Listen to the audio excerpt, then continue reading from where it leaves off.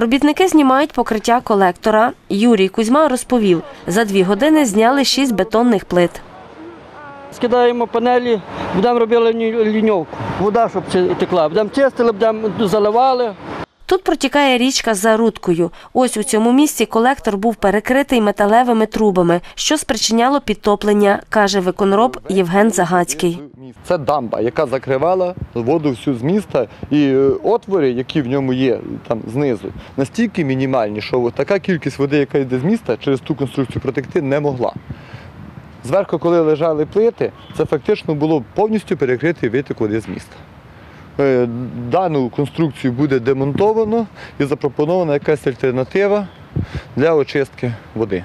Ремонт колектора триватиме три місяці. Проводять його, щоб очистити прибережну ділянку ставу, каже Євген Загацький.